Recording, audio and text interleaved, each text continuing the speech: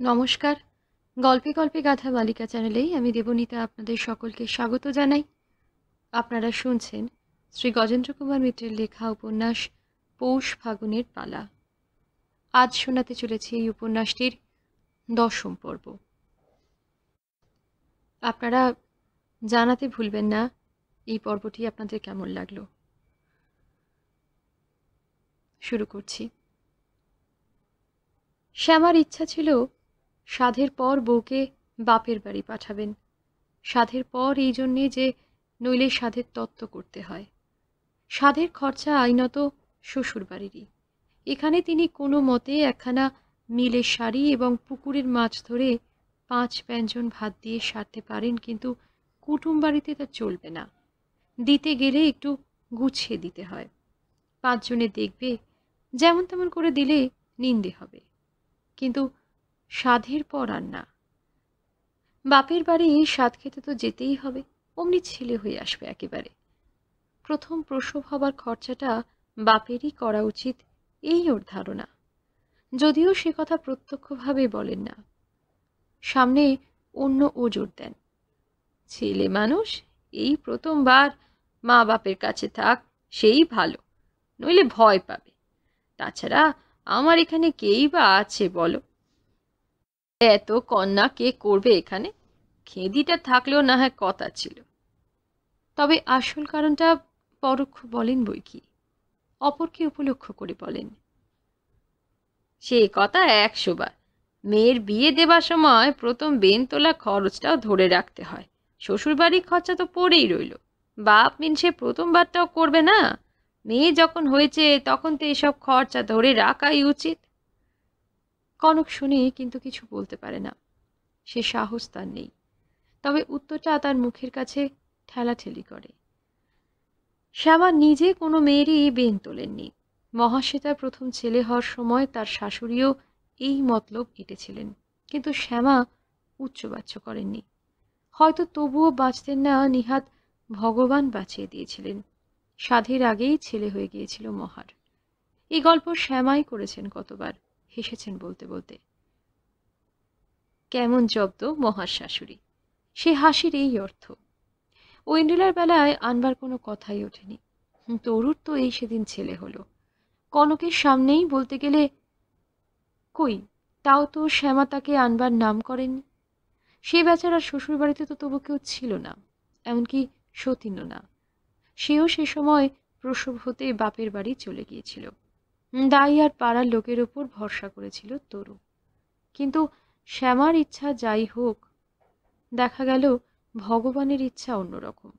মহাশ্বেতা তবু সাধের খরচটা করায়নি, কিন্তু এ বউ সেটিও ষোলো আনা করিয়ে নিয়ে শ্যামাকে বৃহত্তর খরচার মধ্যে ফেলে দিলে। শ্যামার তরফ থেকে চেষ্টা ও যত্নের কোনো ত্রুটি ছিল না। হিসাব মতো ন মাস পড়তেই প্রথম যে দিনটি পাওয়া গেল সাধের তিনি সেই দিনই তাড়াহুড়ো করে সেরে নিয়েছিলেন। যজ্ঞের ব্যাপার কিছু নয়, বাইরের এও কাউকে বলেননি। মহাদেব তিন যাকেই শুধু বলেছিলেন, মহা পাঁচটা এওর ধোঁয়া তুলেছিল, তাকে ধমকে চুপ করিয়ে দিয়েছিলেন। পাঁচটাই যে করতে হবে, কে বললে? বেজোর হলেই হলো। মহাদের বলার সুবিধা আছে। ওরা ঘরের লোক, তার হালচাল অনেকটা জানে, খুব একটা নিন্দে করবে না। কাজটা সেরেছিলেন ও যতদূর সম্ভব কম খরচে। পুকুরে ছিপ ফেলিয়েছিলেন আগের দিন কান্তিকে দিয়ে। একটা মাঝারি কালবোস আর গোটা দুই বাটা মাছ উঠেছিল। তাইতেই কাজ চলে গিয়েছিল। পায়েসের জন্যে বাজার থেকে এক পো মাত্র দুধ আনিয়েছিলেন। ইচ্ছে ছিল তাইতেই ফুটন্ত ভাত থেকে দু হাতা ফ্যানে ভাতে ঢেলে দিয়ে গোটাগত কুণ্ডুবাড়ির বাসি সন্দেশ গড়িয়ে দেবেন। তার সঙ্গে খানকতক বাতাসা আরেকটু কর্পূর দিলেই কেউ টের পাবে না। সন্দেশগুলো একটু গন্ধ হয়ে গেছে, সেই জন্যেই কর্পূর দেওয়া। কিন্তু অত কাণ্ড করতে হয়নি। মহাশ্বেতা মাকে ভালো করেই চেনে। পাছে জায়রা বাড়ি এসে টিটকিরি দেয়। তাই ভোরবেলাতেই এক ছেলেকে দিয়ে লুকিয়ে এক পোটাক দুধ পাঠিয়ে দিয়েছিল। একটু একটু করে সকলের দুধ থেকে কেটে নিলে কেউ টেরও পায় না। অথচ কাজ চলার মতো বেশ খানিকটা দুধ পাওয়া যায়। এ মহাশয় মহাশ্বেতার বহুদিনের অভ্যাস। জায়রা যে জানে না তাও না, কারণ কোনো কাজটাই সে গোপনে করতে পারে না, সে বুদ্ধি তার নেই। সে কথা বলতে পারে না কাজেই কোনো কথা কি কাজ লুকোবার চেষ্টা করলে আরও হাস্যাস্পদ হয়ে পড়ে। জায়রা তাই জেনেও কতকটা দয়া করেই কিছু বলে না আজকাল। নিতান্ত ওর গায়ে পড়া ঝগড়া খুব অসহ্য হলেই মেজবউ এক আধ দিন বলে ফেলে। জোকের মুখে নুন দেবার মতোই চুপ করিয়ে দেয় এই খোঁটাটা দিয়ে। তারপর কেঁদে কেটে চেঁচিয়ে লাফিয়ে যত প্রতিবাদী করুক মহাশ্বেতা, সেদিনের মতো ঝগড়াটা চাপা পড়ে যায়। এই চেঁচামেচিতেও বেশিক্ষণ থাকে না। অভিযোগটা এতই সত্য যে বেশিক্ষণ প্রতিবাদ করতে বোধহয় নিজেরই লজ্জা হয় তার। অবশ্য অল্প স্বল্প খোঁজা দিতে কেউই ছাড়ে না। সেদিনও কনকের সাধে খেতে বসে ভালো মানুষ তরলাও বলেছিল। দিদি পায়েসটা ঠিক আমাদের বাড়ির মতোই হয়েছে না? তাতে প্রমীলা মুখ টিপে হেসে বলেছিল, কেন হলো আমাদের বড়দা কয়লেনি দুধের বাস পাচ্ছিস নাকি? মহা তাড়াতাড়ি এই কথাটা চাপা দিয়ে বলেছিল, তোর যেমন কথা ছোট বউ, অল্প দুধে পায়েস করা, তা আবার সেদ্ধ চালের, ও সব বাড়িরই একরকম হয়। এ পর্যন্ত ও ভালোই ভালো কাটলেও বউকে পাঠাতে একটু দেরি হয়ে গেল।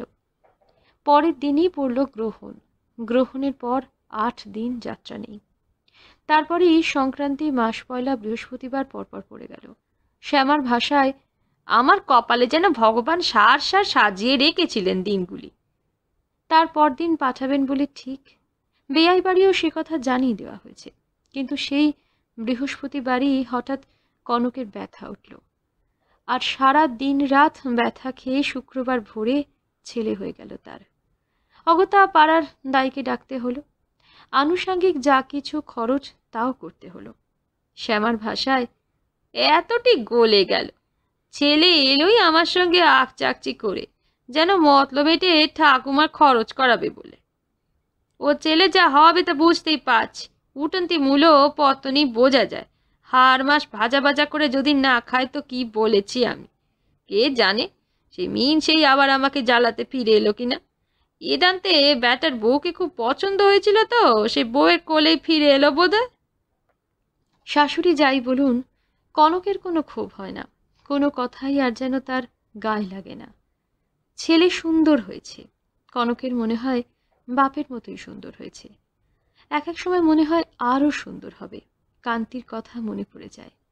ওর বিয়ের সময় যেমন কান্তিকে দেখেছিল, শিউরে উঠে উপমাটা মন থেকে তখনই আবার যেন দু হাতে ঠেলে সরিয়ে দেয়। বাপরে, ও চেহারায় কাজ নেই তার। ওই রকম বরাত পেলেই তো হয়েছে। ছেলের রূপ নিয়ে কি হবে? গুণটাই বড়। মূর্খ অকর্মণ্য না হয় ছেলে। সে যেমন করে হোক, ভিক্ষে দুঃখ করেও ছেলেকে মানুষ করবে, লেখাপড়া শেখাবে। শ্যামাও বধূর সম্বন্ধে মনে যতই বিদ্বেষ থাক এইসব খরচপত্রের জন্য যত পরিতাপই হোক নাতি দেখে মন জুড়িয়ে যায়। তার গর্ভের সন্তানরা বেশিরভাগই সুন্দর। তেমনই হয়েছে এও। কান্তির মতো, ঐন্দ্রিলার মতো না হোক, বংশের সঙ্গে খাপ খেয়ে যাবে। মনে মনে বারবার বলেন, বাঁচুক, মানুষ হোক। কপাল ভালো নিয়ে এসে থাকে তবে তো আমার ছেলে মেয়েদের মতো কপাল না হয়। কিন্তু ভাগ্য যেমনই হোক, ছেলের আয় পয় যে ভালো না সেটা বোঝা গেল শিগগিরই। ষষ্ঠী পুজো শেষ হতেই বউকে তার বাপের বাড়ি পাঠিয়ে দিলেন শ্যামা। বললেন, এখন কিছুদিন নিয়মে থাকা দরকার। এখানে থাকলে অনিয়ম হবেই। আর বিশ্রামও পাবে না। কে করবে বলো? আমি না রেঁধে ভাতটা জোগালুম কাঁথা কানি তো আর কাচতে পারব না। সেখানে পাঁচটার ঘর বোনরা আছে, পায়ের ওপর পা দিয়ে বসে থাকতে পারবে। আর খাওয়া দাওয়াই বা আমার ঘরে কি আছে? ভাত হারির ভাত আলাদা কিছু করে দেবো, সে ক্ষমতা কই? তার চেয়ে মা বাপের কাছে যাক তাদের মেয়ে তারা যেমন করেই হোক একটা ব্যবস্থা করবে। আমি তো একটা দিক টানলুম, তারা এবার করুক না। সেইটাই ছিল তার মূল উদ্দেশ্য। এই এতটি টাকা খরচ হয়ে গেল, আবার যদি পোয়াতিকে সারিয়ে তুলতে হয় তো রক্ষে নেই। না অন্তত এক পো দুধ জোগানি করতে হবে, পোয়াটা ঘিও চাই। লুচি হালুয়া না হোক, কদিন ভাত পাতে একটু না দিলে লোকেই বা বলবে কি? তার চেয়ে ওদের ওপর দিয়েই যাক। যাই কি, মাছ দুই যদি চেপে থাকে তো তার এদিকের খরচও খানিকটা উসুল হবে। হাজার হোক, একটা পেট তো বাঁচবে। কিন্তু বউকে বাপের বাড়ি পাঠিয়ে নিঃশ্বাস ফেলতে না ফেলতে খবর এলো হারানের খুব অসুখ। এদের কারুর যাওয়া দরকার। খবরটা দিলে চিরদিনের ভগ্নদূত মহাশ্বেতাই। ছোট ছেলেটাকে পাঠিয়েছিল গাছ কতক নাজনি ডাটা দিয়ে বোনের খবর নিতে তার মুখেই বলে পাঠিয়েছে তরু। কি অসুখ তা ছেলেটা ঠিক বলতে পারেনি, তবে দেখে এসেছে মেসমশাই শুয়ে আছেন, অসার অনর হয়ে। মাসিমা কান্নাকাটি করছে। খবরটা এলো দুপুরে, তখন হেম অফিসে। কান্তি বাড়িতেই থাকে বটে। এখনও সে পড়াশোনার চেষ্টা করে খানিকটা, কিন্তু মার তাড়নায় কিছুই হয় না। মা তাকে সারাক্ষণই বাগানে খাটাতে পারলে বাঁচে। এদিকে বইও সব হাতে নেই, তার উপর মাথাটাও কেমন হয়ে গেছে অসুখের পর থেকে। মাথায় যেন কিছু ঢুকতে চায় না, মুখস্থ করলেও দুদিন পরে ভুলে যায়। সেই জন্যে শ্যামার যেমন দুশ্চিন্তারও অন্ত নেই, তেমন গঞ্জনারও না। সেই গঞ্জনার ভাষা কানে না গেলেও আকারে ইঙ্গিতে তার তীব্রতা বুঝতে পারে কান্তি। ফলে আরও যেন দিশাহারা হয়ে যায়, আরও অন্যমনস্ক হয়ে ওঠে। শ্যামা একবার ভাবলেন, ওকেই পাঠাবেন। বললেনও ইশারায় কিন্তু তারপর নিজেই আবার বারণ করলেন। কোনো লাভ নেই। ওরা দুজনে অভ্যস্ত হয়ে গেছেন, উনি আর কনক। ওকে ঠোঁট নেড়ে কথাগুলো মোটামুটি বোঝাতে পারেন। এখনও হেমই পারে না, তরু তো পারবেই না। এই অবস্থায় ঠিক কতটা কি হয়েছে বোঝা যাচ্ছে না তো। যদি বাড়াবাড়ি কিছু হয়ে থাকে তো তরু লিখে জানাবে সব কথা, সে সম্ভব নয়। তাছাড়া তরু তেমন লেখাতে পটুও নয়। মিছিমিছি কান্তিকে পাঠানো মানে তাদের উদ্ব্যস্ত করা। তার চেয়ে হেমি আসুক আজকাল ওপর টাইম না থাকলে সে সকাল করেই ফিরে প্রায়। সন্ধ্যার পরেই পৌঁছে যায়। ঠাকুর ঠাকুর করতে লাগলেন শ্যামা, যাতে সকাল করেই ফিরে হেম। ওপর টাইমে সামান্য কিছু পয়সা আসে বটে, তা হোক, তবু আজ তা না থাকাই বাঞ্ছনীয়। ওভার টাইম না থাকলেও সেদিনই হেম ফিরল সামান্য একটু রাত করে। পোস্তায় গিয়েছিল, সস্তায় এটা ওটা বাজার করতে। অবশ্য তাতে আটকালো না, তখন সবে আটটা। সিদ্ধেশ্বরী তলার ঘড়ি দেখে এসেছে হেম। গিয়ে খবর নিয়ে আসতে সাড়ে দশটা এগারোটার বেশি হবে না। সে পুটুলিটা নামিয়েই রওনা হয়ে গেল। অন্ধকার রাত, পথটাও খারাপ। কিছুদিন আগেই সামান্য কটা পয়সার জন্য মানুষ খুন করেছে ডাকাতরা ওই পথেই। মন চায় না পাঠাতে বললেনও একবার শ্যামা এখন না হয় থাক ভোরে তুলে দিলে পারবি না ঘুরে আসতে? পাগল তিন কোয়ার্টার এক ঘণ্টার পথ ভোরে গিয়ে আসব কেমন করে আপিসের আগে? কাল কামাই করাও চলবে না কোনো মতেই। বড় সাহেব আসবে আমাদের সেকশনে। ও কিছু হবে না আমি ঘুরে আসি চট করে। যেতে দিতেও যেমন ইচ্ছা করে না বাধা দেবারও শক্তি নেই। শেষ পর্যন্ত শ্যামা জোর করে কান্তিকেও সঙ্গে দিলেন। শুনতে না পাক দোসর তো থাকবে অন্তত। তুমি একা থাকবে? আপত্তি করে হেম। সে আমি বেশ থাকব কেন? আমার জন্য ভাবতে হবে না। তোরা ঘুরে আয়। দুগ্গা দুগ্গা। সদর দরজা ভালো করে বন্ধ হয় না। খিলটা কোনো মতে ঠেকানো থাকে শুধু। একটা লোহার দা না কিনলে ওর কোনো উপায়ও হবে না। কাঠটাও গেছে পচে। বহুকালের দৌড় জলে রোদে জীর্ণ হয়ে এসেছে। নতুন লোহা লাগবেও না হয়তো। একেবারে দরজাটা পাল্টাবেন এই মনে করেই কিছু করা হয়নি। রাত্রে খিল বন্ধ করার পরও খান্দুই ইট নিচে ঠেকিয়ে রাখা হয়। কেউ ঠেলে ঢুকলেই তবু আওয়াজ হবে। এখনও তেমনইভাবে বন্ধ করে রান্নাঘর আর বাইরের ঘরে শিকল তুলে দিয়ে দালানে এসে বসলেন শ্যামা। অন্য সময় কাজ না থাকলে আলো নিভিয়েই বসেন। অকারণে তেল পোড়ান না। আজ কুপিটা জ্বালিয়েই রাখলেন। যাবার সময় হেম একটু টুকে দিয়ে গেল বলেই নইলে তাও রাখতেন না। না, ভয় তার শরীরেই, অশরীরেই কোনো প্রাণীকেই নেই। দীর্ঘকাল একা থেকেছেন, কাটিয়েছেন ছোট ছোট ছেলে মেয়ে নিয়ে। হেম যখন হয়, গুপ্তিপাড়ায় অত বড় বাড়িটায় সাতাশ বিঘে বাগানের মধ্যে বলতে গেলে একাই থাকতে হতো।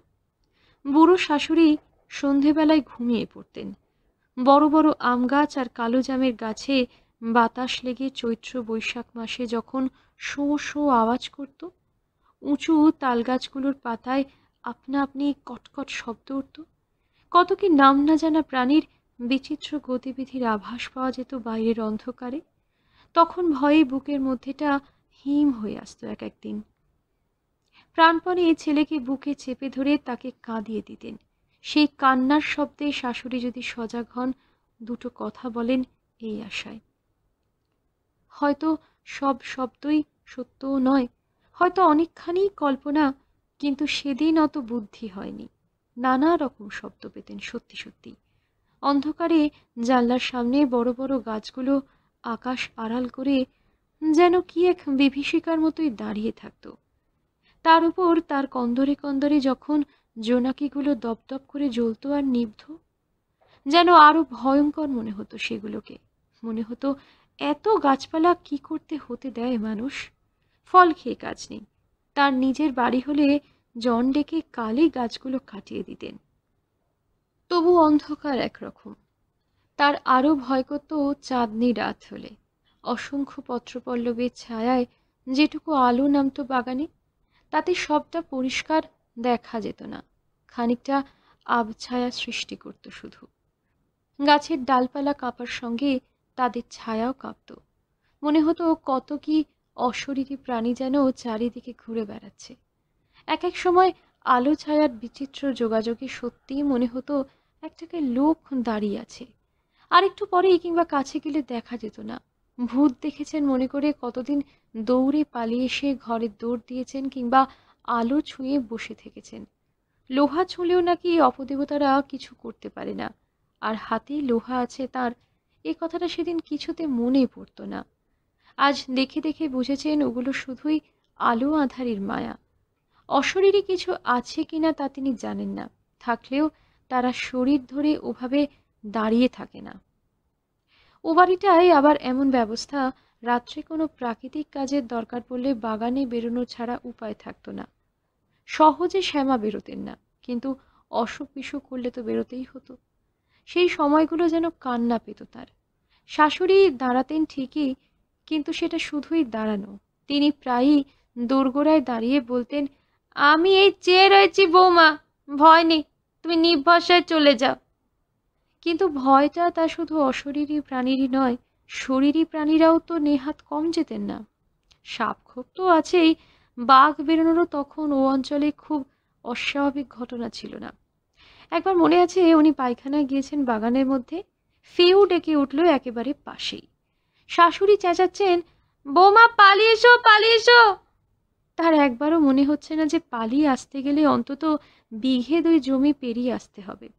হয়তোবা বাঘের সামনে দিয়ে? তবু যেতেই হয়েছিল তাই। ডাক ছেড়ে চিৎকার করে কাঁদতে কাঁদতে ওই পথটা ছুটে গিয়েছিলেন, হয়তো তার চিৎকারেই বাঘ সরে গিয়েছিল। তারপর পদ্মগ্রামে এসেও কম সইতে হয়নি তাকে। রাতের পর রাত ভয়ের সঙ্গে যুদ্ধ করতে হয়েছে। সেখানে দাঁড়াবারও লোক ছিল না কেউ। তাকেই দাঁড়াতে যেতে হতো ছেলে মেয়েদের সঙ্গে। সরকার বাড়ির বাগানের মধ্যেই ছিল বটে ঘরখানা। তবু ওদের মূল বাড়ি থেকে একেবারে আলাদা, অনেকটা দূরে। মন্দিরের গায়ে পুজোরির ঘর, এইভাবেই করানো। ব্রাহ্মণদের দূরেই রাখতে চেয়েছিলেন কর্তারা, যারা ঘর তৈরি করিয়েছিলেন। মঙ্গলা স্পষ্টই বলতেন বাপরে বামুন হলে কি জাত সাপ? ওদের নেপচয় কি থাকতে আছে? কত কি কথা ওঠে, কথার পিঠে কথা, কি বললুম না বললুম অমনি হয়তো মনি দিয়ে বসে রইল। এক বাড়িতে থাকতে দুরন্ত ছেলেপুলে ঘরে ধরে ঢুকবে, কী সব অত্যাচার করবে? হয়তো হুঁশ রইল না, গায়ে পায়ে লাগিয়ে বসল। সে পাপের বোঝা কে বইবে বলো? না, ওই দূরে দূরে থাকাই ভালো। তারপর মুচকি হেসে কৃষ্ণযাত্রায় শোনা গানের একটা কলি গেয়ে উঠতেন হয়তো ভাঙা ভাঙা গলায়। দূরে রহু দূরে রহু, প্রণাম হামার সেই ঘরে সেই বিজন অরণ্যের মধ্যে বলতে গেলে দীর্ঘকালই কাটাতে হয়েছে তাকে। এতটুকু এতটুকু বাচ্চা নিয়ে একদিনে ওরা বড় হয়নি। তিল তিল সংগ্রাম করতে হয়েছে ওদের বড় করতে। দিনের পর দিন যখন অন্ন জুটত না, তখন একা ওই অন্ধকার বাগানে ঘুরে বেড়াতে হতো। যদি একটা পাকা তাল কি একটা ঝুনো নারকেল কুড়ি পাওয়া যায়, এই আশায়। গন্ধ শুকে শুকে আতা পেয়ারা গাছে পেকেছে টের পেয়ে অন্ধকারেই হাতড়ে হাতড়ে পেরে এনেছেন। অথচ কি না ছিল সে বাগানে। সাপ, গোসাপ, শিয়াল, বিছে আরও কত কি। কিন্তু সেদিন ভয় করলে চলতো না বলেই বেরোতে হয়েছে। এমন কিছু দুঃসাহসী তিনি ছিলেন না। মানুষ, বন্যপ্রাণী, সরীসৃপ, সকলকেই ভয় করতেন। ভয়ে বুক ঢিপ ঢিপ করত, তবু যেতে হতো। আর সেইভাবে যেতে যেতে এই ভয়টা কমেছে তার। কেমন একটা ভরসা এসেছে মনে, তার কিছু হবে না। ভয় তার কাউকেই নেই আজ, অদৃষ্টকে ছাড়া। অদৃষ্ট খারাপ বলেই বহু দুর্ভোগ কপালে লেখা আছে বলেই জেনেছেন যে তার কিছু হবে না। সহজে অন্তত মরবেন না তিনি। মানুষ, জানোয়ার, ভূত কেউই কিছু করতে পারবে না। তার ভয় তার এই কপালটাকে। কে জানে আরও কি আছে অদৃষ্টে? আরও কি দুর্দিন কি দুর্ভাগ্য তোলা আছে তার জন্যে? চুপ করে বসেই রইলেন শ্যামা। দালানের দরজা বন্ধ করেননি বটে, কিন্তু সামনেই কুপির আলো। সেটা ডিঙিয়ে অন্ধকার উঠোনে কিছুই ঠাউর হয় না। তা না হোক, তার জন্য ব্যস্ত নন তিনি। তিনি স্থিরভাবে চেয়ে আছেন কুপির ওই কম্পমান শিখাটার দিকেই। বাইরে নিশুতি হয়ে এলো ক্রমে। মল্লিক বাড়ির ঝি চাকররা এই সময়টা প্রায়ই কলহ কেজিয়া করে রান্নাঘরে বসে। ওদের পিছন দেখেই ওদের রান্না মহল তারাও চুপ করে গেছে। বোধহয় শুয়েই পড়ল। ভূতি মল্লিকদের মাতলামির দাপাদাপি চিৎকারও স্তিমিত হয়ে এলো একটু একটু করে। মহাদেবের দিদিমা ঘাটে বাসন মাজতে এসেছিল। জলের ছপ ছপ আওয়াজে টের পেয়েছিলেন শ্যামা। সেও সম্ভবত বাড়ি গিয়ে শুয়ে পড়ল এতক্ষণে। এ পথে পথিক কেউ হাঁটে না রাত আটটার পর। এ পাড়ায় তার ছেলেই সবচেয়ে দেরি করে বাড়ি ফেরে, সুতরাং কারুর হাঁটার শব্দ পাবেন সে সম্ভাবনা নেই। তবে মানুষের প্রাণ লক্ষণ না থাক অন্য জীবিত প্রাণীর অস্তিত্বের অভাব ছিল না, শব্দেরও না। মানুষ যখন নিস্তব্ধ হয়, তখনই বোধহয় ওরা বেশি করে কোলাহল মুখর হয়ে ওঠে। এটাই বোধহয় ওদের নিশ্চিন্ত হয়ে বিচরণ করার অবসর, জীবনটা উপভোগ করার সময়। এখনই ওরা যেন বাঁচার মতো বাঁচে। ঝিঝি পোকা সন্ধে থেকেই ডাকে, অশ্রান্ত, নিরবিচ্ছিন্ন। কিন্তু তখন কানে লাগে না। এখন মনে হচ্ছে অসহ্য। বাগানের শুকনো পাতার উপর দিয়ে একাধিক গো হারগেল ঘুরে বেড়াচ্ছে। সাপের সামান্য শব্দই নয়, রীতিমতো ভারী কিছু যাওয়ার মর্মর শব্দ।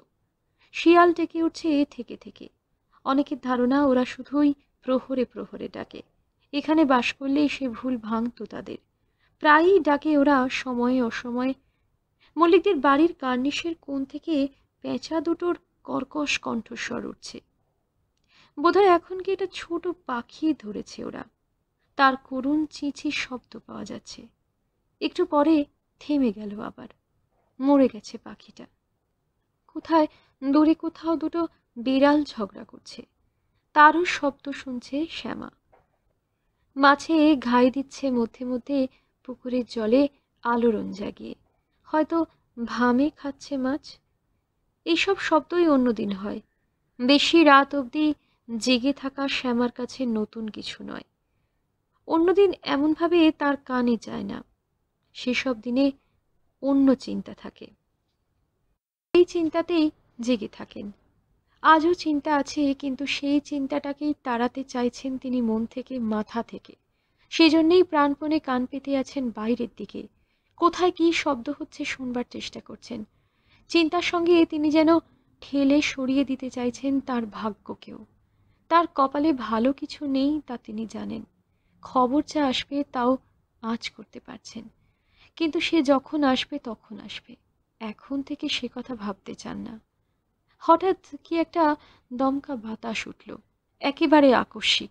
মা বলতেন, নিস্তব্ধ রাত্রিতে এমনই দমকা হাওয়া তুলে পরিচিত মানুষের আত্মা চলে যায়। যাওয়ার পথে আত্মীয় বন্ধুকে জানিয়ে দিয়ে যায় তাদের অস্তিত্ব। কে জানে? কার আত্মা চলে গেল এ বাড়ির ওপর দিয়ে? মার? নরেনের? তার শাশুড়ির? কি বলতে চাইল সে আত্মা? কোনো নতুন বিপদের আভাস দিয়ে গেল? সতর্ক থাকতে বলল। সে মর্মর শব্দ যেমন হঠাৎ উঠেছিল, তেমনি হঠাৎই থেমে গেল। গাছপালাগুলো কিছুক্ষণ পত্রপল্লব নেড়ে স্থির হয়ে গেল আবার। শুধু বাঁশ গাছের ডগাগুলো অনেকক্ষণ পর্যন্ত তাদের কাণ্ডে কাণ্ডে কটকট শব্দ তুলে আন্দোলিত হতে লাগল। ছেলেরা ফিরল রাত বারোটার উপর। বিপদ একটা নয়, অনেকগুলো। হারানের অসুখটাও বাঁকা।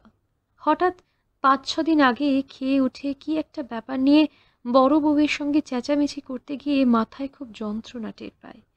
দু হাতে মাথাটা ধরে বসে পড়ে উঠোনেই সেদিন নাকি অফিস থেকে ফিরেও রাগারাগি করেছিল। কিছু না খেয়েই ক্লাবে গিয়েছিল রিহার্সাল দিতে। সেখানেও চেঁচাতে হয়েছে অনেকক্ষণ। ফিরে এসে ভাত খাওয়ার পর হঠাৎ চেঁচাতে গিয়েই এই বিপত্তি। কিন্তু শুধু মাথার যন্ত্রণাই নয়। ওকে বসে পড়তে দেখে ছুটে এসে দুই বউ ধরতে গিয়ে দেখে নাক দিয়ে রক্ত পড়ছে। খুব বেশি নয়, তবে নাকি নিতান্ত দু এক ফোঁটাও নয়। তখন আর কিছুই করা যায়নি। ঘরে এনে শুয়ে মাথায় জল দেওয়া বাতাস করা ছাড়া। অত রাত্রে এ কেই বা ডাক্তার ডাকতে যাবে? নিবড়ে তেমন কোনো ডাক্তারও নেই। এখানকার কোনো ডাক্তারকে এ খবর দিলেও যেত না সে সময়। যাই হোক, সে রাত্রে হারানার কোনো উচ্চবাচ্য করেনি। একটু অস্ফুট গোঙানি ছাড়া। ওরা প্রশ্ন করে উত্তর পায়নি, ভেবেছে মাথার যন্ত্রণার জন্যই উত্তর দিচ্ছে না। সকালে বুঝেছে যে তা নয়। অজ্ঞানের মতো হয়ে আছে। তখন বড় বউ কাঁদতে কাঁদতে বাপের বাড়ি গেছে খবর দিতে। তরু পাড়ার লোক ডেকে ডাক্তারের কাছে পাঠিয়েছে। ডাক্তার আর শ্বশুর একসঙ্গেই এসেছেন। শ্বশুর দেখে শুনে মুখের ওপরই বলেছেন, সন্ন্যাস রোগ, ও আর বাঁচবে না। ডাক্তার অতটা হতাশ করেনি। তবে তারও মুখ গম্ভীর হয়ে গেছে। কী সব ওষুধ দিয়ে কতকটা জ্ঞান ফিরিয়ে এনেছেন কিন্তু দেখা গেছে যে হাত পার কিছু নাড়তে পারছে না, কথাও কইতে পারছে না। কথা কারও বুঝতেও পারছে কিনা সন্দেহ। পক্ষাঘাতের মতো এই সব লক্ষণ। ডাক্তার বলেছেন যে, সন্ধ্যা থেকে রাগারাগি করে আর চেঁচিয়ে মাথায় রক্ত চড়েছিল। তার উপর আবার চেঁচাতে গিয়ে এই বিপত্তি। মাথার কোনো শির ছিঁড়ে গেছে, এই তার বিশ্বাস। বলেছেন, প্রাণের ভয় এখনও যায়নি, তবে হয়তো বাঁচিয়ে দিতে পারবেন শেষ পর্যন্ত। কিন্তু আগের মতো সহজভাবে আর চলে ফিরে বেড়াতে পারবে কিনা সন্দেহ। বিপদের পর বিপদ, শ্বশুর এসে জামাই বাড়িতে জেকে বসে আছেন, সুতরাং তিনি এখন অভিভাবক। খরচপত্র সব তার হাতে, তিনিই সব করছেন। তরুর বিশ্বাস, বুড়ি সিন্ধুকের হারানের আলমারিতে নগদ টাকা ঢের ছিল। বুড়ির তরুণ কিছু গয়না তো ছিলই। সেই জন্যই হারান কোনোদিন বাড়িতে চাবি রেখে যেত না। বুড়ি মরার পর থেকে সঙ্গে সঙ্গে নিয়ে ঘুরত। শ্বশুর এসে প্রথম দিনই চাবির গোছা হস্তগত করেছেন। এবং প্রকাশে মেয়ের গহনা সব নিজের বাড়িতে রেখে এসেছেন বাক্স শুদ্ধ কিন্তু তরু বলে যে তার মধ্যেও সতীনের গহনা ছাড়াও অনেক জিনিস ছিল তিনি বই করেছেন। বুড়ির তরুণ যা কিছু ছিল সবই। এছাড়াও অফিস থেকে ওর বন্ধুদের সাহায্যে টাকা করে নিয়ে এসেছেন খানিকটা অসুখের অজুহাতে। সকলেই যথাসাধ্য সাহায্য করেছে। তরু একেই ভীতু আর লাজুক তবু সর্বনাশ হয় দেখে একটু মৃদু প্রতিবাদ করতে গিয়েছিল। তিনি চাবির গোছা ফেলে দিয়ে বলেছেন, অফিসের টাকা না পেলে তো চিকিৎসাই চলতো না, ঘরে তো কিছুই ছিল না। সিন্ধুক আর আলমারি তো নামেই, ভেতরে তো ঢুঢু, অষ্টরম্ভা। বিশ্বাস না হয় খুলে দেখো না। মরিয়া হয়ে তরু বলতে গিয়েছিল, সে নিজে দেখেছে সিন্ধুকে নগদ টাকার গিনি ছিল। আলমারিতেও কিছু কিছু টাকা রাখতো হারান। এরই মধ্যে সব ফুরিয়ে যাবার কথা নয়। কিন্তু কথা শেষ করার আগেই ওর সতীন তেরে এসেছে। তবে কি তার বাবা মিছে কথা বলছেন? তরু কি বলতে চায়? তিনি চুরি করেছেন সে টাকা? তেরে এসেছেন সতীনের বাবাও। তার সে সময়কার ভয়ঙ্কর চোখ মুখের চেহারা দেখে তরুর মনে হয়েছে যে তিনি হয়তো ওকে মারধরি করবেন।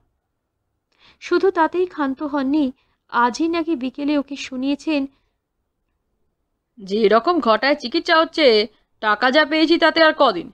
এবার তো তোমার গয়না বেচতে হবে। তোমার ছেলে হয়েছে, বিষয় সম্পত্তি তো সব সেই পাবে।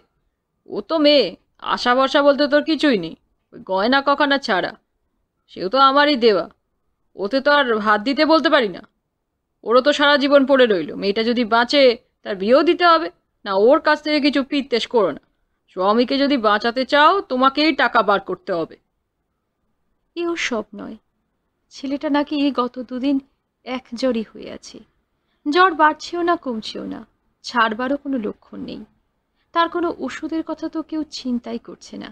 এখন আরও কিছু খারাপ না হলে হয়।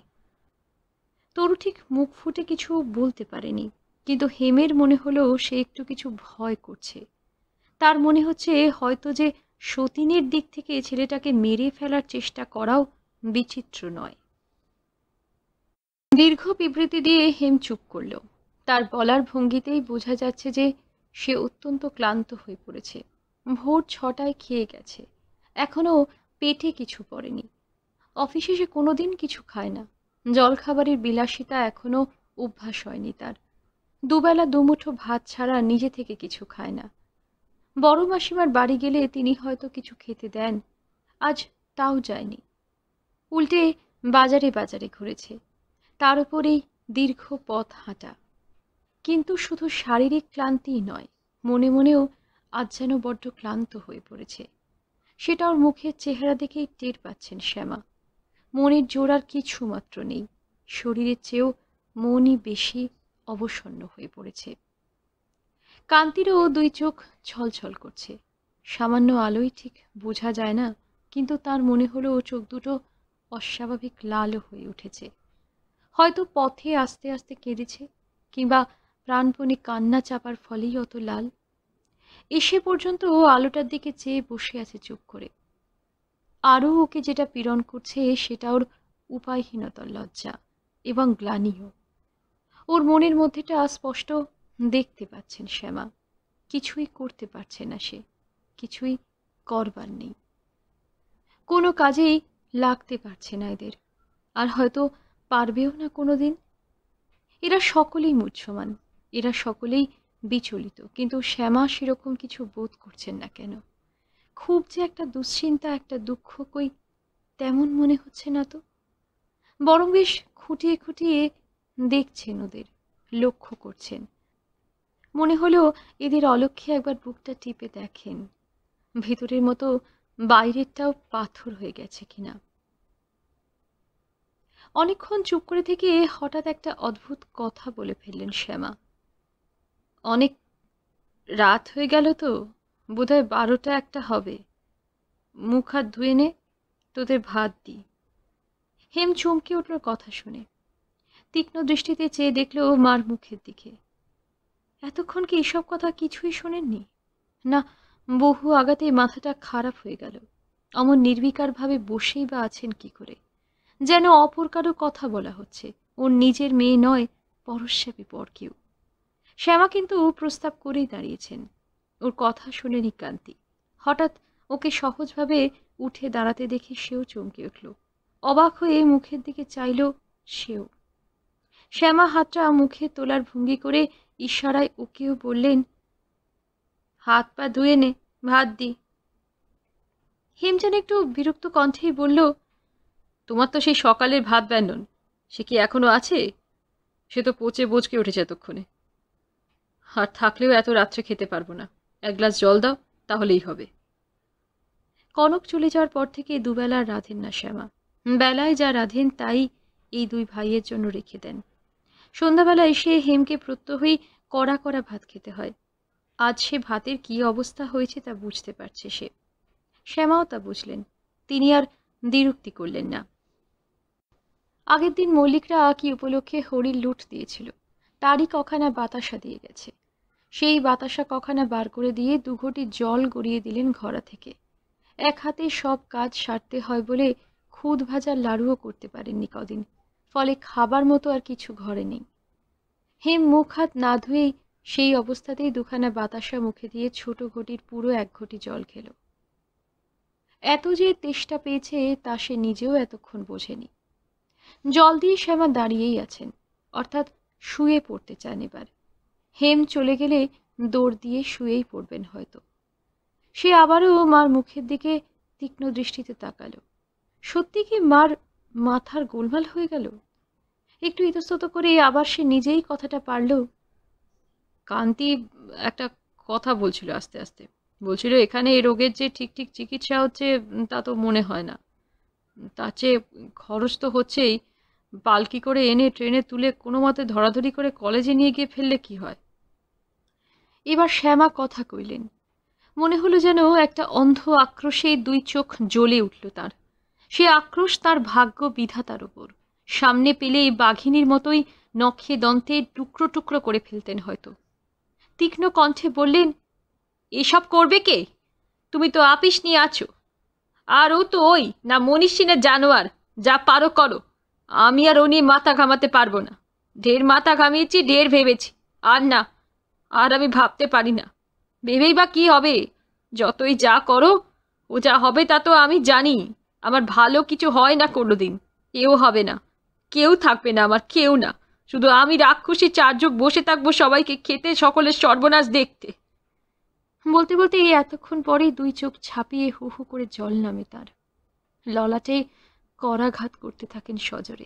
হাহাকার করে কেঁদে ওঠেন। হেম স্বস্তির নিঃশ্বাস ফেলে। পরের দিন ভোরবেলা অফিস যাবার পথে হেম ডাক্তারের বাড়ি হয়ে গেল। এ পাড়ারই ডাক্তার, বড় ডাক্তারের ছেলে, ভালো প্র্যাকটিস এত ভোরে দেখা পাবার কথা নয়, তবে সে শুনেছিল ডাক্তারের পুজো পাঠের অভ্যাস আছে। হয়তো ভোরেই ওঠেন। দেখা পেয়েও গেল সে। অত সকালে এই ঘাটে স্নান করতে যাচ্ছিলেন ডাক্তার। দেখা হয়ে গেল। তিনি প্রস্তাবটা শুনেই মাথা নাড়লেন। বললেন, আমার তো মনে হয় না এই ঝুঁকি আপনাদের নেওয়া উচিত। হাটের অবস্থা খুব ভালো নয় এখনও তো টানা হ্যাচড়া কি সইবে? এখান থেকে একেবারে গাড়িতে নিয়ে যেতে পারেন কিংবা পালকিতে, সে আলাদা কথা। তাও রাস্তা যা, গাড়িতেও নিয়ে যেতে বলি না। ঝাঁকানিতেই দফা দফা। পালকিও বোধহয় কলকাতা পর্যন্ত যেতে রাজি হবে না। তাছাড়া সেও পালকিতে তোলা নামানো কম কাণ্ড নয়। ও তো হাত পা কিছুই নাড়তে পারছে না। কলকাতা হলে অ্যাম্বুলেন্স ডাকতে পারতেন। এখানে তো সে ব্যবস্থা নেই। তবু হেম বাড়ি ফিরে সন্ধ্যাবেলা অনেক ঘুরে দেখল। কোনো পালকিওয়ালাই রাজি হলো না যেতে। কলকাতায় গেলে নাকি পুলিশে বড় দিক করে। সে হ্যাংগ্যামে ওরা যেতে রাজি নয়। তাছাড়া রুগী নিয়ে যাওয়া যদি পালকিতেই মরে যায়, তাহলে ওদের পালকিতে কেউ চড়বে না। খুব পিড়াপিড়ি করতে একজন পঞ্চাশ টাকা হেঁকে বসল। অর্থাৎ না যাওয়ারই মতলব। সুতরাং কিছু করা গেল না। রাত্রে হেম গিয়ে কান্তিকে রেখে এলো তরুর কাছে। তবু একটা দোসর। আর কিছু না হোক, ছুটে এসে খবরটাও দিতে পারবে। ওকে কাগজে লিখে ওখানের ব্যাপারটাও বুঝিয়ে দিলে একটু যাতে নজর রাখতে পারে হারানের শ্বশুরের ওপর। ছেলেটাকেও একটু দেখতে পারবে কান্তি। খানিকটা ইতস্তত করে শ্যামার কাছেও কথাটা পারল। তুমি একবার গেলে বোধহয় ভালো হতো। অতটা পারতো না ওরা। বিপদের সময় জামাই বাড়ি বলে সংকোচ করতে গেলে চলে না। কিন্তু শ্যামা দৃঢ়ভাবে মাথা নাড়লেন। না, আর পাড়াপাড়ির কিছু নেইও যারা জামাইয়ের মরণ থেকে আগেই টাকা পয়সার কথা চিন্তা করে, তারা এত বোকা নয় যে রয়ে বসে নেবে। যা করবার তা করে ফেলেছে। হরিনাথের বেলা নিজের মা ভাই ঠকিয়ে নিলে তো শ্বশুর। মিছিমিছি আমি গিয়ে নিমিত্তের ভাগী হতে চাই না। ওরা মজা পেয়ে যাবে। বলবে, ও মা কিও সরিয়েছে। অগত্যা হেমকে চুপ করে যেতে হয়। অভয়পদকে এ বলতে হবে কথাটা। তার একটা পরামর্শ নেওয়া দরকার।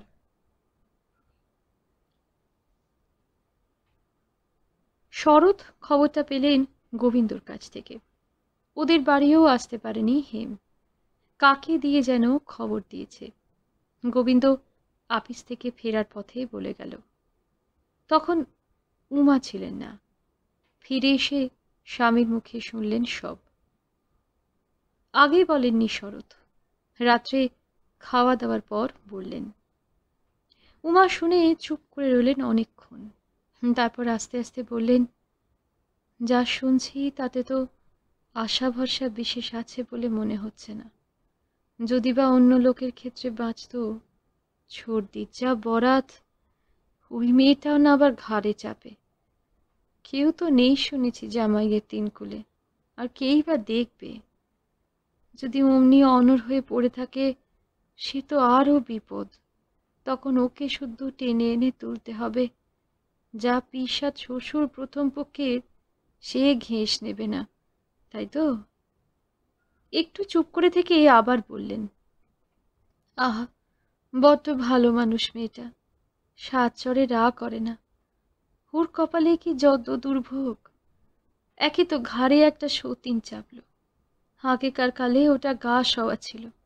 এখন তো সতী নিয়ে ঘর কাটা শোনাই যায় না। ওর কপালে তাও হলো।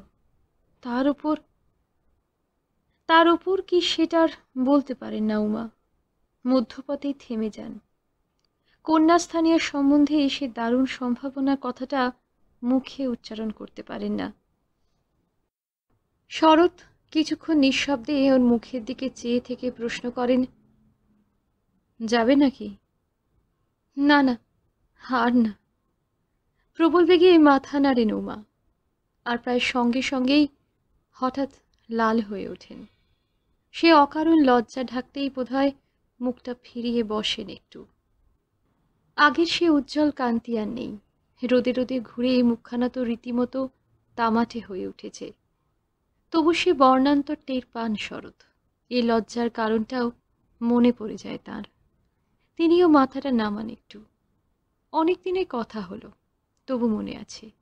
স্পষ্ট সব দেখতে পাচ্ছেন যেন। হরিনাথের অসুখের খবর পেয়ে উমা পাগলের মতো হয়ে উঠেছিলেন।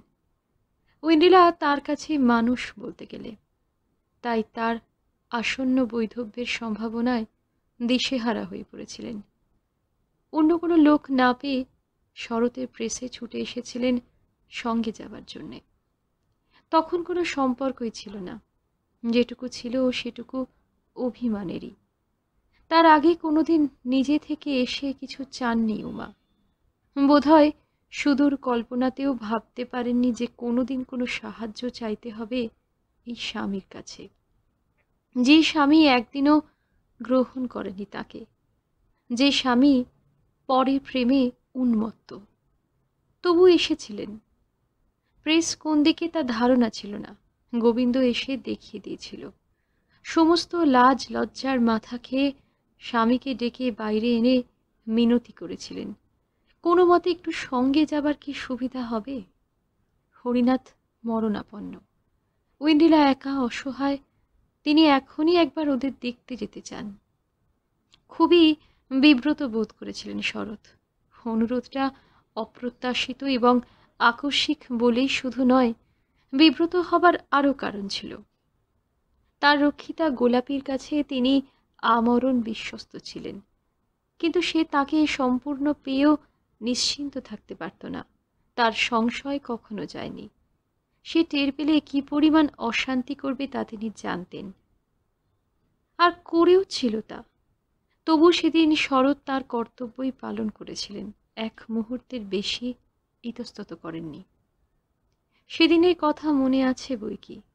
ট্রেনের পথটুকু একরকম যথেষ্ট দূরত্ব বজায় রেখে যাওয়া যায়। স্টেশনে নেমে অপরিসর পালকিতে ঘেঁষাঘেঁষি বসে যাওয়া অন্ধকার নির্জন পথ দিয়ে সেই বয়সেও একটু মোহ, খানিকটা বিভ্রান্তি সৃষ্টি করেছিল। তারপর সেখানে নেমেও হরিনাথের মার তীক্ষ্ণ দৃষ্টি ও সন্নিগ্ধ প্রশ্নে দুজনেই যথেষ্ট অসুবিধায় পড়েছিলেন।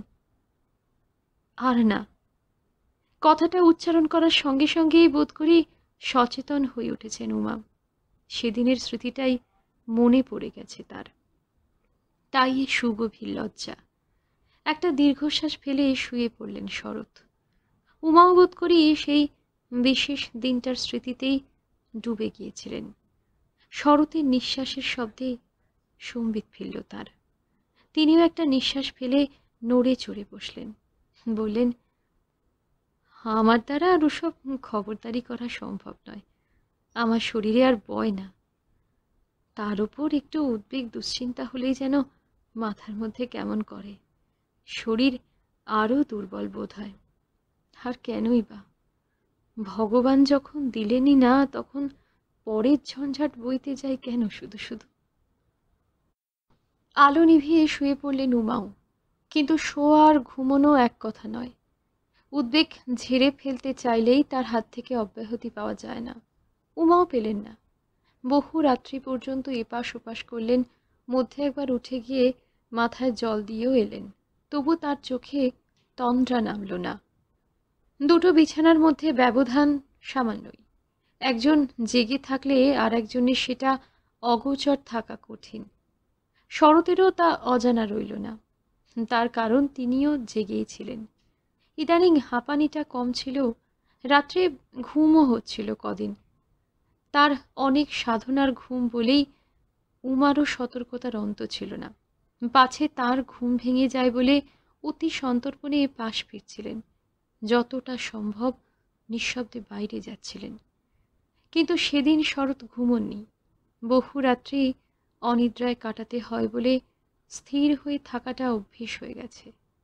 স্থির হয়ে শুয়েছিলেন বলে উমা তার জেগে থাকাটা টের পাননি, নইলে তন্দ্রা নামেনি তার চোখের পাতাতেও। তিনিও ভাবছেন আকাশ পাতাল, ভাবছেন উমার কথাই। অনেক দিন ধরেই ভাবছেন। উমা মিছে বলেননি, কথার কথা নয়। সত্যি উমা ক্লান্ত হয়ে পড়েছেন। শরৎ কিছুদিন থেকেই লক্ষ্য করছেন সেটা। সুগভীর ক্লান্তি ফুটে উঠেছে মুখে চোখে। হয়তো সবটাই তার কায়িক দুর্বলতা নয়। দীর্ঘদিন ধরে একঘেয়ে পরিশ্রমে হয়তো মানসিক অবসাদও এসেছে একটা। কিন্তু সেটাও তো কম কথা নয়। মানসিক ক্লান্তি যখন মুখের ভাবে চোখের দৃষ্টিতে ফুটে ওঠে, তখন সেটা সম্বন্ধে অবহিত হওয়া প্রয়োজন বুঝতে হবে। আর শারীরিক ক্লান্তিরই বা অপরাধ কি? হলো তো বহুদিন। প্রায় ত্রিশ বৎসর হতে চলল। এই একই কর্মসূচি। বেলা বারোটা না বাজতে বাজতে বেরিয়ে যাওয়া। রাত আটটা, নটায় বাড়ি ফেরা। এক টাকা, দু টাকা বড়জোর চার টাকার টিউশনি। বহু বাড়িতে অনেক মেয়েকে না পড়ালে একজনে খরচ চলে না। টাকা যাই দিক, সকলেই ঘড়ি মিলিয়ে নেয়। দেড় ঘণ্টার আগে উঠলে মুখ ভার হয় মেয়ের মায়েদের। এখন ইংরেজি পড়ার রেওয়াজ হয়েছে। পাড়ায় পাড়ায় মেয়ে, স্কুল সেখানকার মাস্টারনিরাও টিউশনি খুঁজে বেড়াচ্ছেন। প্রতিযোগিতা খুব বেশি। উমার মতো শুধু ফার্স্ট বুক পড়া শিক্ষয়িত্রীর টিউশনি জোটাও আজকাল কঠিন। সেজন্য ভয় ভয় থাকেন উমা। এসব কোনোদিন খুলে না বললেও কথায় বার্তায় বেরিয়ে আসে। কতকটা শুনলে বাকিটা অনুমান করে নেওয়া চলে। শুধু অবিশ্রাম বকাই নয়, হাঁটতেও হয় অনেক। শ্যামবাজার, আহিরিটোলা, বেরন স্ট্রিট এক এক জায়গায় এক একজন। পুরনো বাড়ি খুব বেশি নেই, বছর দুই পড়লেই ওর বিদ্যা শেষ হয়ে যায়। শুধু প্রাথমিক পাঠ ছাড়া ওকে দিয়ে পড়াবে কে? যে বাড়িতে অনেকগুলি বোন পরপর সাজানো থাকে, সে বাড়িতেই টিকে থাকে নুমাও কিন্তু সেরকম বাড়ি এখন একটিই আছে বিডন স্ট্রিটে। ইদানিং অনেক মেয়ে হাতছাড়া হওয়ায় জানাশোনার মধ্যে ভালো কাজ না পেয়ে উমা ভদ্র গৃহস্থ বাড়ি থেকে একটু নামতেও বাধ্য হয়েছেন। খারাপ পাড়ায় না ভদ্রপাড়ায় ভদ্রলোকের মতোই বাস করে, অথচ পরিচয়টা গোলমেলে বিবাহিত দম্পতি নয়। জেনে শুনেই এমন বাড়িতে পড়ানো ধরতে হয়েছে তাকে।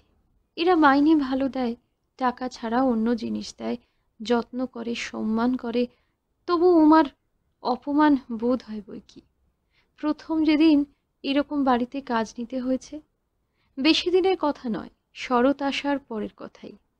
সেদিন বাড়ি ফিরে অবসন্নভাবে বসে পড়াটা শরৎ কোনোদিনই ভুলবেন না। কি সুগভীর লজ্জার অবসাদী না ফুটে উঠেছিল মুখে, মনে হচ্ছিল বোতল ভরা কালিকে ঢেলে দিয়েছে। গোপন করেনি। সবই বলেছিলেন উমা গত তিন, চার মাস ধরেই আয় কম হচ্ছে। কিছুতেই কোনো ভদ্র বাড়িতে আর কাজ জোগাড় করতে না পেরেই এ কাজ নিতে হয়েছে তাকে। বাজারে দেনা হয়ে গেছে। মুদির দোকানে এমনকি সবজি বাজারেও বাকি পড়েছে। আর অপেক্ষা করবার সাহস নেই তার। সেদিনই এই কথাটা বলেছিলেন শরৎ। অনেক ইতস্তত করে কোনো মতে বলে ফেলেছিলেন।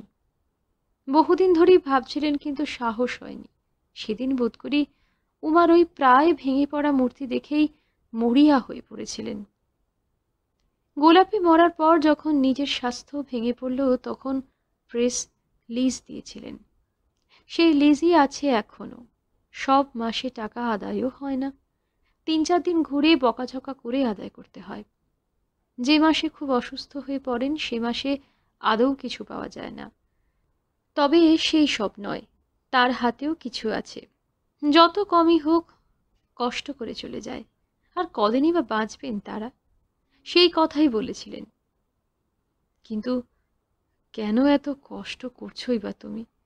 আমার যা আছে তাতে কোনো মতে শাক ভাত আমাদের দুজনের চলেই যাবে। কিছু ছিল হাতে, এই কবছরে কিছু জমেওছে। তুমি তো আমার খোরাকির বেশি এক পয়সাও নাও না। যা নাও তাতে আমার খোরাকিও বোধহয় চলে না পুরো। কাজেই আর যত কমই হোক, কিছু কিছু তো জমেছেই। আর না হয় ছাপাখানাটা বেচে হাতে নগদ টাকা নিয়ে চলো কোনো তীর্থস্থানে চলে যাই। কাশিতে শুনেছি খুব সস্তা গন্ডা বহু বুড়ি মাসে দু টাকা, তিন টাকা আয়ে চালায় সেখানে। কাশিতে গিয়েও থাকতে পারি। কদিনই আর বাঁচবো আমরা। যা আছে দুটো পেট চলেই যাবে। না, কথাটার গতি কোন দিকে যাচ্ছে বুঝতে পেরে প্রথম থেকেই অসহিষ্ণু হয়ে উঠেছিলেন উমা। প্রতিবাদ করার জন্য কথার ফাঁক খুঁজছিলেন শুধু। এবার একেবারে যেন ফেটে পড়লেন। না, এই যত দুঃখই পাই না কেন, যত নিচু দৌড়েই ঢুকতে হোক না কেন এতে আমার লজ্জার কোনো কারণ নেই। নিজের কাছে নিজের মাথা উঁচু আছে। তোমার ভাতের চেয়ে ঢের ভালো। এতকাল যদি তোমার ভাত না খেয়ে কেটে থাকে তো বাকি কটা দিনও কাটবে? মা সতীরানীর কাছে এই প্রার্থনাই করি অহরহ। অনেক দুঃখ, অনেক অপমান জীবনে দিয়েছ। এই অপমানটা আর দিও না। তোমার ভাত যেন খেতে না হয়। তার আগে যেন আমার মৃত্যু হয় অন্তত।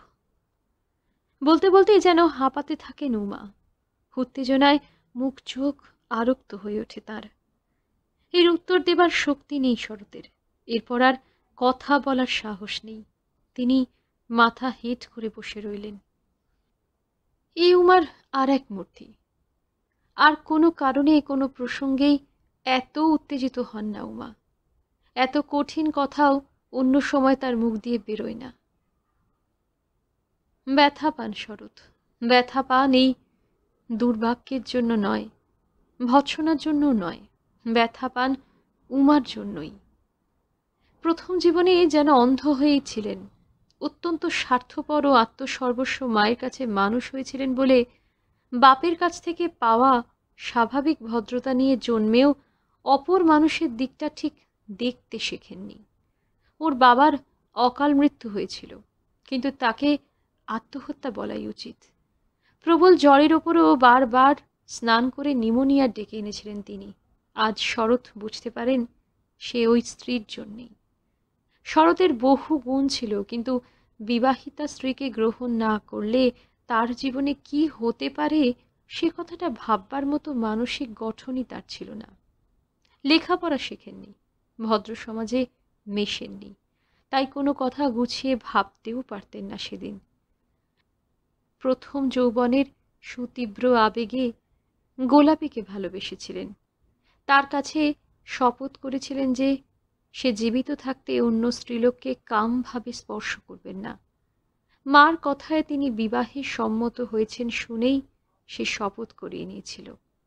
অন্যথায় আত্মহত্যা করবে বলে ভয় দেখিয়েছিল। পতিতার কাছে করা শপথ রাখতেই তিনি উন্মুখ যৌবনা বিকশিত পদ্মের মতো স্ত্রীকে গ্রহণ করেননি সেদিন। আজ সে কথা মনে হলে হাসি পায়, দুঃখের হাসি। সেই শপথ এমনভাবে রক্ষা করা কোনো প্রয়োজন ছিল না। আজ বুঝতে শিখেছেন যে এই শপথ রক্ষা করতে গিয়ে বৃহত্তর শপথ ভঙ্গ করেছেন তিনি। অগ্নিয় নারায়ণের কাছে করা শপথ। আশ্চর্য।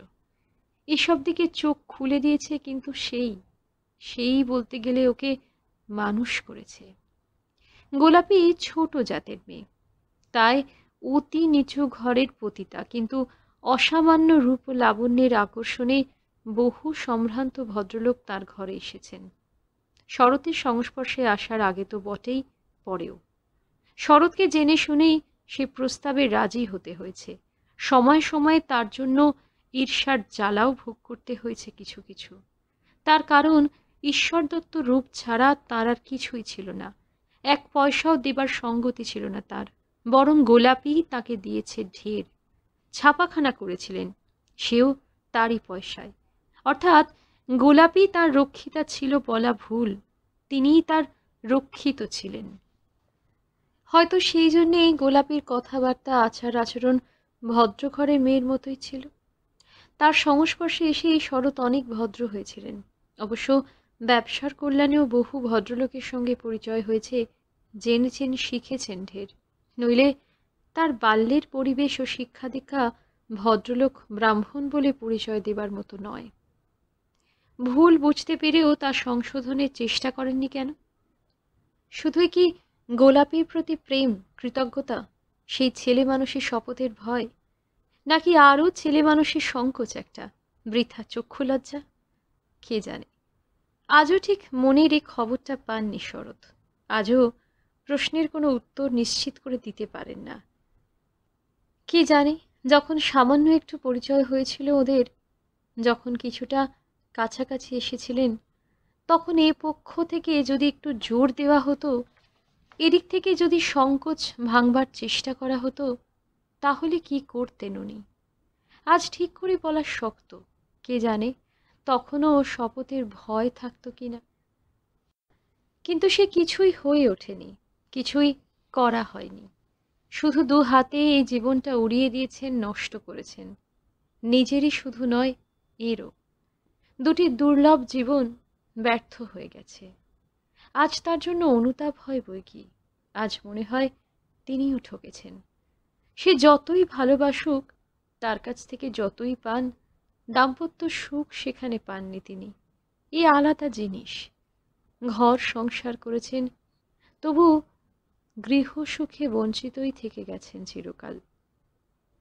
ছোট একটি নিজস্ব সংসারে সর্বময় কর্তা, একেশ্বর হয়ে থাকার যে তৃপ্তি, তা অনাস্বাদিতই রয়ে গেল এই জীবনে। ভদ্র সমাজে সাধারণ গৃহস্থ হয়ে বাস করার মধ্যে যে সম্মান তারও কি মূল্য কম? না, অনেক কিছুই হারিয়েছেন তিনি, অনেকখানি। আজ মনে হয় কোনো মতে যদি জীবনের এই কটা বছর ঠেলে সরিয়ে দিয়ে আবার নতুন করে শুরু করা যেত, অন্তত কিছুটা সময় যদি পিছিয়ে যাওয়া যেত, যখন স্ত্রীর কাছে ক্ষমা চাইলে তিনি এতটা কঠিন হতে পারতেন না, সে ক্ষমা পাওয়া যেত। এখন এই স্ত্রীর সামান্য কিছু প্রয়োজনে লাগতে পারলেও ধন্য হয়ে যান তিনি। কিছুটা প্রায়শ্চিত্ত হয়। কিন্তু আজ বুঝি কোথাও কোনো পথ খোলা নেই তার। স্ত্রীর প্রিয় সাধনের জন্যই তিনি খোকাকে এনে রেখেছেন। কান্তিকে সাহায্য করেন। কিন্তু সে আর কতটুকু? বরং মনে হয় এখানে এসেই চোখের সামনে থাকাটাই উমার পক্ষে আরও যন্ত্রণাদায়ক মনে হচ্ছে। কোনোদিন সামান্য কোনো যত্ন করলে, কোনো মিষ্টি কথা বললে কি ওর কাজে কোনো সাহায্য করতে গেলে উমার চোখে জল এসে যায় তা তিনি লক্ষ্য করেছেন বহুদিন। যেদিন ওই কাজ ছেড়ে দেবার কথা তোলেন, সেদিন শেষ রাত্রে ঘরের বাইরে উঠোনের দিক থেকে চাপা কান্নার আওয়াজে তার ঘুম ভেঙে গিয়েছিল। খুবই সামান্য শব্দ, কিন্তু তারও হাঁপানির টানের মধ্যে বসে বসে ঘুম। ভাঙতে দেরি হয়নি। অন্ধকারে উঠে এসে দেখেছেন রকের উপর উপর হয়ে পড়ে কাঁদছেন ওমা মুখে কাপড় গোজা। তবু সে কান্নার শব্দ সম্পূর্ণ বন্ধ হয়নি। এমনই আকুল সে কান্না। এক একবার মনে হয় এর চেয়ে তিনি দূরে কোথাও চলে যাবেন, বহু দূর কোনো দেশে। সেখানে তার অদৃষ্টে যা হয় হবে। উমাকে তো মুক্তি দেওয়া যাবে। কিন্তু তাও পারেন না। বড় বেশি মায়া পড়ে গেছে। লোভ হয়। যদি কোনোদিন কোনো কাজে লাগতে পারেন, যদি কোনো একটি সামান্যতম বেদনার কাঁটাও তুলে দিতে পারেন ওর এই বিড়ম্বিত জীবন থেকে, সেই তো পরম লাভ। সেই সম্ভাবনাটুকু নষ্ট করতে মন চায় না। গলির ওপাশে ঘোষিতের বাড়ির সাদা দেওয়ালটায় ভোরের আভাস লাগা মাত্র উমা উঠে পড়লেন। এমনি ওঠেন তিনি প্রত্যহ। কোনো কোনো দিন আরও আগে ওঠেন। বেশ খানিকটা রাত থাকতেই উঠতেন এতকাল, কিন্তু তাতে আলো জেলে ঘরে কাজ সারতে হয়। শরৎ আসার পর সে ব্যবস্থা একটু অসুবিধা দেখা দিয়েছে। দেশলাই জ্বালার আওয়াজেই ওর ঘুম ভেঙে যায়। চোখে আলোটাও লাগে। শরতে যেদিন হাঁপানির টান ওঠে, সেদিন অনেক রাত পর্যন্ত জেগে বসে থাকেন। ভোরের দিকে যা একটু তন্দ্রা আসে, সেটুকু ভাঙাতে মায়া হয় উমার। আর সেই জন্যেই একটু অন্তত আবছা আলো আসার অপেক্ষা করতে হয়, তা নইলে রাত থাকতে ওঠাই সুবিধা তার। গঙ্গা স্নানের অভ্যাস করেছেন মার মতো, তাতে নাকি মাথা ঠান্ডা হয়, শরীরটাও ভালো থাকে। আসলে এই শরতের বিশ্বাস মার মতোই নিরিবিলিতে চোখের জল ফেলে মনটা হালকা করতে যান ওখানে। গঙ্গা জলে চোখের জলে একাকার হয়ে যায়, সে কান্না কেউ টের পায় না। গঙ্গা স্নানের জন্যেই এত ভোরে উঠতে হয় তাকে। আরও ভোরে উঠলেই ভালো হয়। ফর্সা হলে ভিড় বেড়ে যায়, সে বড় অসুবিধা। পাঁচটা মেয়ে এক জায়গায় হলেই পাঁচটা বাজে প্রসঙ্গ। ও আর উমার ভালো লাগে না। অথচ এক ঘাটে যারা প্রত্যহ স্নান করতে আসেন তাদের সঙ্গে একটু মুখ চেনা গোছেরও পরিচয় হয়ে যায়। তারা কথা কইলে মুখ ফিরিয়ে চলে আসা যায় না। দুটো কথা ওকেও বলতে হয়। এইটাই এড়াতে চান উমা। অথচ এখানেও কিছু কাজ থাকে। বিছানা ঠিক করা, দুটো ঘর, বাইরের রকটুকু মোছা, নিজের প্রাতকৃত্য সারা, খুব কম করেও এক ঘণ্টার ধাক্কা। একটু রাত থাকতে না উঠলে এই সব দিক সামলাতে পারেন না। ঘুম ভাঙলে এই বিছানাতেই উঠে বসে বালিশ ঠিক করতে করতে রাসমণির শিক্ষা এটা। ওয়ার টেনে চুস্ত করে বালিশ ফুলিয়ে এমনভাবে সাজিয়ে রাখতে হবে যাতে রাত্রে মাথায় দেবার চিহ্ন না থাকে। একদফা ঠাকুরদের নাম করেন উমা। তার মাও করতেন শুনে শুনে শেখা। সাধারণত অনুচ্চ কণ্ঠেই করেন, এও মার শিক্ষা। তোমার ঘুম ভেঙেছে বলেই অপরের ঘুম ভাঙাতে হবে এমন কোনো আইন নেই। ইদানিং আরও সাবধান হয়েছেন। পাছে শরতের বিশ্রামে ব্যাঘাত হয়। একরকম মনে মনেই বলেন। আজও উঠে ঠাকুরদের নাম সেরে বিছানা থেকে নামতে যাবেন। হঠাৎ শরতের বিছানার দিকে চোখ পড়ে গেল। মনে হলো শরৎ তার দিকেই চেয়ে আছেন। শরৎ জানলার দিকটায় শুন, যেটুকু আলো ওই দিক থেকেই আসে। তাই আলো আধারিতে স্পষ্ট কিছু বোঝা গেল না। নেমে কাছে এসে দেখলেন সত্যিই চেয়ে আছেন শরৎ, চোখে ঘুমের লেশ মাত্র নেই। সম্ভবত অনেক আগেই উঠেছেন। হুমা, তুমি জেগে আছো? আমি বলি ঘুমোচ্ছ, পাছে ঘুম ভেঙে যায় বলে শরৎ তেমনই স্থির দৃষ্টিতে ওর মুখের দিকে তাকিয়ে বললেন, আজ আর গঙ্গাচানে নাই বা গেলে, সারা রাত তো ঘুমোনি। এখন একটু ভোরাই হাওয়ায় ঘুমিয়ে নাও না। সারা রাত যার ঘুম হয়নি এখন এই সকালের আলোয় শুলে তার ঘুম হবে? তোমার কি বুদ্ধি? কিন্তু তুমি জানলে কি করে আমার ঘুম হয়নি? তুমিও কি জেগেছিলে? কই, আমি তো টের পাইনি। তীক্ষ্ণ দৃষ্টিতে এই স্বামীর মুখের দিকে চান উমা।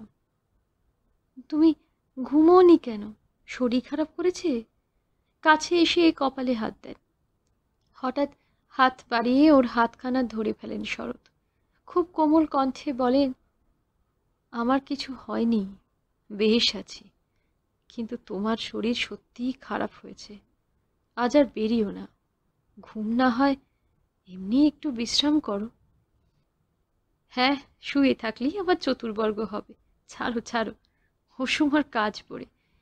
এমনি বেলা হয়ে গেছে, গঙ্গায় গিয়ে সে মাগির ধঙ্গলে পড়তে হবে।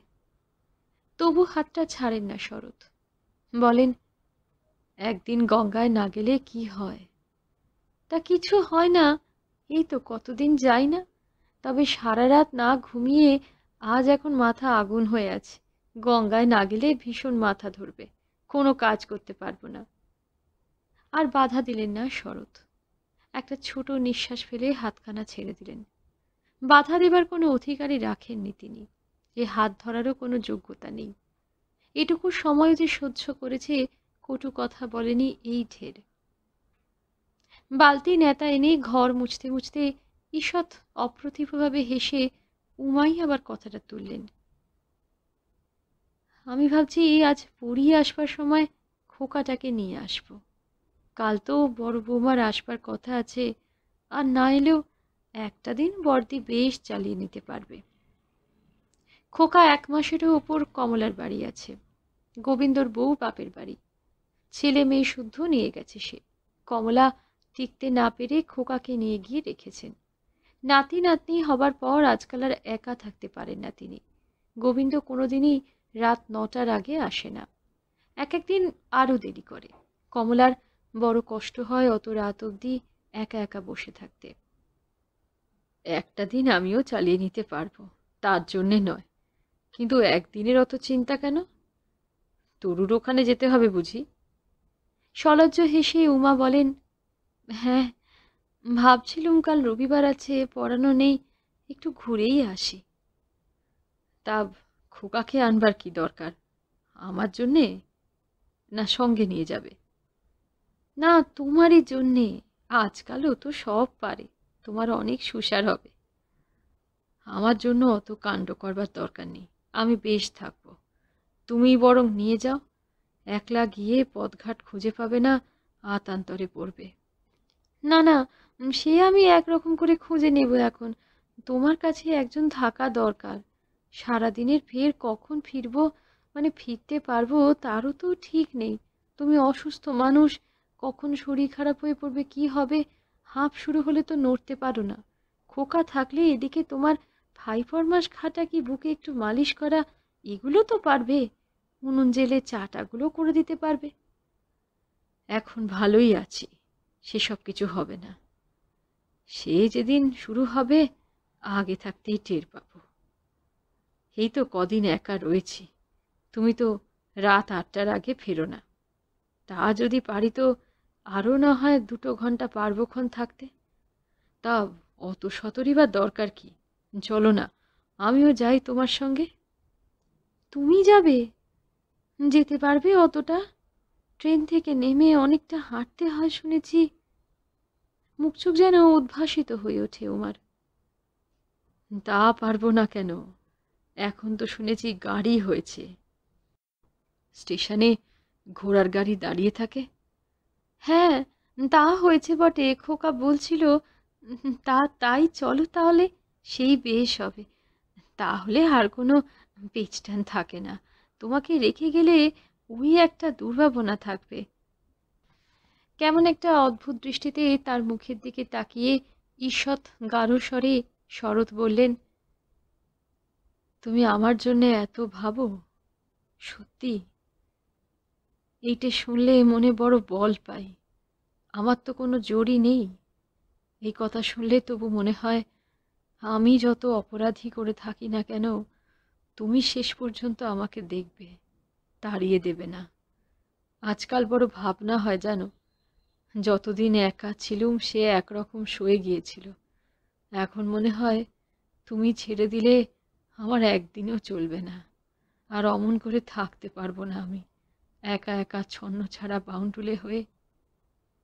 আজ আবার সকাল থেকে কি আদি খেতে শুরু হলো তোমার? ঝংকার দিয়ে ওঠে নুমা। কণ্ঠস্বরে যথাসম্ভব স্বাভাবিক রূঢ়তা আনবার চেষ্টা সত্ত্বেও আশা ও আশ্বাসের সঙ্গে লক্ষ্য করেন শরৎ, মনের আবেগটা ধরা পড়ে যায়। তাতেই একটু বেশি রূঢ় শোনায় যেন। তারপর যখন কথা বলেন, তখন আরও স্পষ্টভাবে প্রকাশ পায় সেটা। তোমাকে ছেড়ে দিতে আর পারলুম কই? তাহলে আর যেচে ঘরে নিয়ে আসব কেন? এখন একবার যখন বোঝা ঘাড়ে নিয়েছি, তখন আর নামাবো কি করে? কার ঘাড়ে চাপাবো আর? এক হ্যাঁ। শরৎ তাড়াতাড়ি ওরই কথা সূত্র ধরে যেন বলেন, সেদিনটা পর্যন্ত অপেক্ষা করো, দোহাই তোমার। একেবারে জমের ঘাড়ে চাপিয়ে দিও, তাহলেই তোমার ছুটি। সেটুকুই আমি চাইছি। ও আবার কি কথা? বলে, এত দুঃখ দিয়েও আশ মিটল না বুঝি। দেবার মধ্যে দিয়েছ তো এই লোহা আর সিঁদুরটুকু, সেটাও সইছে না? ও আশীর্বাদে আর কাজ নেই। কিন্তু তুমি গেলে আমার কি গতি হবে? এই তো একবেলা কে দেখবে সেই ভাবনায় অস্থির হচ্ছ। তখন কে দেখবে? অনেকক্ষণ উমা কোনো উত্তর দেন না। নীরবে বাকি ঘরটুকু মুছে নেন। তারপর মুখ টিপে হেসে বলেন, দা জো মেলে তাকে কি বলব শিখিয়ে দিও। কখনো তো আমার হয়ে কাউকে কিছু বললে না। পারো তো তাকে বলে ব্যবস্থা করো, যাতে দুজনেই একসঙ্গে যেতে পারি। নাকি সেখানে তো আবার আর একজন বসে আছেন, আমাকে সঙ্গে নিয়ে গিয়ে আবার ভ্যাসাতে পড়বে না তো? শরৎ প্রবল বেগে ঘাড় নেড়ে গাঢ় কণ্ঠে বলেন, না না, আর কেউ নেই। সে যার ঋণ ছিল তার কাছে এ জন্মেই শোধ হয়ে গেছে। পরকালে আর কোনো দাবি তার নেই। আর যদি বা বসে থাকে, দাবি করে তোমার হক তুমি ছাড়বে কেন? তোমার তো জোরের জিনিস, এবার জোর করেই তোমার পাওনা আদায় করবে। এমন ভালো মানুষের মতো ছেড়ে দিও না। তবু ভালো, বলে উমা আরেকটু হেসে বালতি হাতে কলতলায় চলে যান। খেয়ে দিয়ে পান মুখে দিয়ে বেরোবার সময় হাসি হাসি মুখে এসে দাঁড়ান উমা। দেখো গো, গোটা দুই টাকা হবে তোমার কাছে? তা হবে। হঠাৎ টাকা চাইলে যে? মাসের শেষ, হাতে যে কিছু নেই, ধারই চাইতুম তা তুমি মেশোর সঙ্গে যাচ্ছ, তোমারও তো কিছু কর্তব্য আছে, একটু লেবু টেবু কিনে নেব আর কি। তা সে আজ কি? শরৎ টাকা দুটো বালিশের তলা থেকে বার করে দিতে দিতে প্রশ্ন করেন, যাবে তো কাল। আজই এনে রাখব মনে করছি কাল ভাবছি রাত থাকতে উঠে যা হয় দুটো ভাতে ভাত ফুটিয়ে খেয়ে নটা, দশটার মধ্যে বেরিয়ে পড়ব। নইলে ফিরতে দেরি হয়ে যাবে। আর না খেয়ে গেলে সে বড় পীড়ন করা হয়। তার যা অবস্থা শুনছি, মেয়েটা তো জ্যান্তে মরা হয়ে রয়েছে। সেখানে না খেয়ে গিয়ে হাজির হওয়া সে বড় লজ্জা করে। না না, খেয়েই যাব। তা দু টাকাতেই হবে? ঢের ঢের। বইবে কে অত। তাছাড়া খরচাও তো হবে ঢের। ট্রেন ভাড়া আছে, গাড়ি ভাড়া আছে, এক গাদা খরচা। তোমার তো আর কুবেরের ভাণ্ডার নয়। ধরো যদি খালামি মরেই যাই তখন তো মাইনে করে লোক রাখতে হবে। এমন আপ খোরা গিয়ে বিনে মাইনের ঝি আর মিলবে না তো। আবার ওই কথা। বললুম না যে, তোমাকে আমি ছাড়বো না। আচ্ছা আচ্ছা ধরেই রেখো। যতদিন পারো কাটিয়ে নিও আর কি। তবে যমরাজের সঙ্গে ব্যবস্থাটা করে নিও কিন্তু। টাকা দুটো আঁচলে বাঁধতে বাঁধতে বেরিয়ে যান উমা খবরটা পেলেন পাড়ার দু তিনটি ছেলের মুখে। বাড়িওয়ালাদের একটি ছেলেও ছিল তাদের মধ্যে। ছুটতে ছুটতে এসেছে তারা। বোধহয় ঊর্ধ্বশ্বাসেই ছুটে এসেছে। উমার আসবার সময় হয়েছে আন্দাজ করেই তাকে একটু চমক লাগাবার জন্যে শরৎ তখন গুলের উনুনটায় আঁচ দিয়ে সাগু চাপিয়ে দিয়েছেন। উমা বারো মাসেই রাত্রে দুধ সাগু খান। একা থাকার সময় ওই অভ্যাস করেছেন। এখন আর কিছু সহ্য হয় না। আগে সকালেই করে রেখে দিতেন, এখন ফিরে এসে এই উনুনটা জেলে করে নেন। শরৎ যেদিন ভালো থাকেন, সেদিন রুটি কিংবা পরোটা খান দুখানা। সেও এই উনুনেই হয়, নইলে তিনিও সাগু খান। তার সঙ্গে হয় কোনো সস্তা দামের মিষ্টি কি দুটো নারকোল নাড়ু, কিংবা নিজের পক্ষে বাতাসা।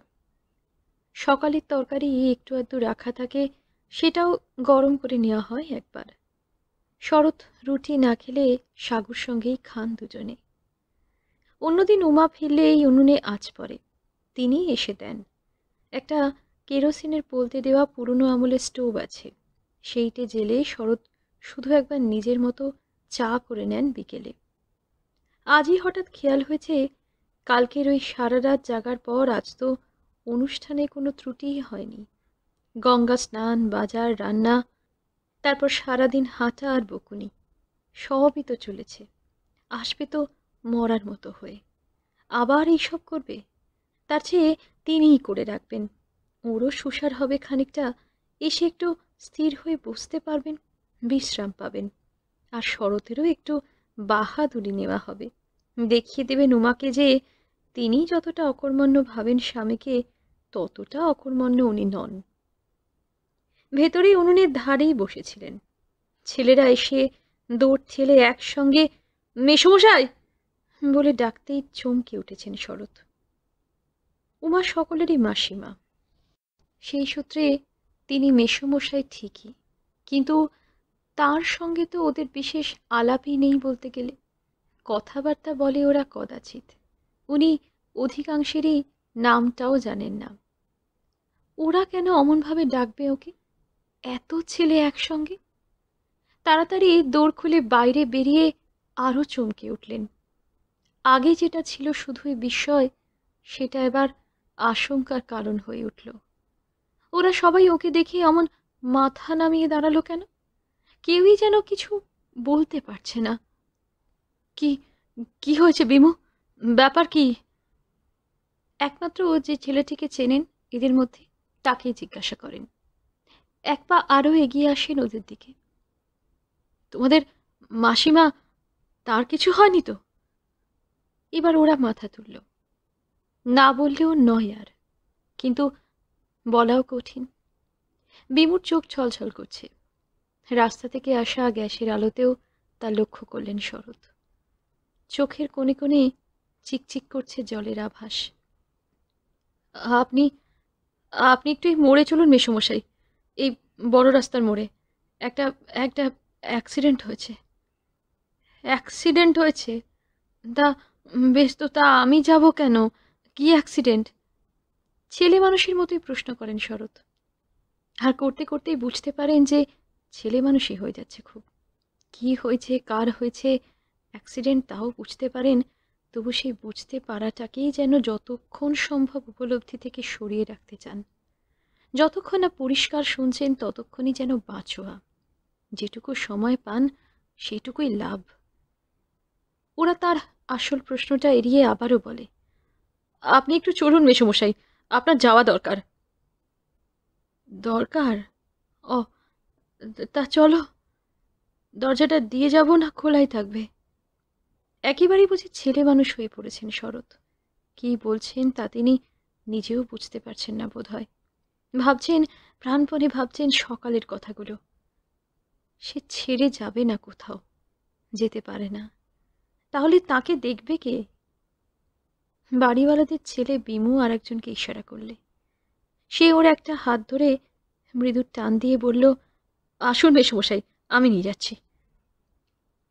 বিমু বলল, আপনি চলুন, আমি মাকে বলে যাচ্ছি, দরজা বন্ধ করে দেবে।